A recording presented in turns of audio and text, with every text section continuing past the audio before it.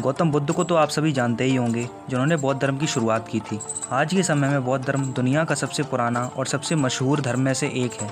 आपको पूरी दुनिया में भगवान बुद्ध की हज़ारों लाखों प्रतिमाएँ मिल जाएँगी, जो बहुत खूबसूरत और आकर्षित होती हैं। सभी प्रतिमाएँ अपने आप में अनोखी होती हैं, जिनमें एक चीज़ सामान्य होती है, वह है गौतम बुद्ध के घुंघराले बाल। क्या वो घुंघराले बाल हैं, या कुछ और है? इसके पीछे की असली कहानी जानकर आप हैरान रह जाओगे। तो चलिए शुरू करते हैं।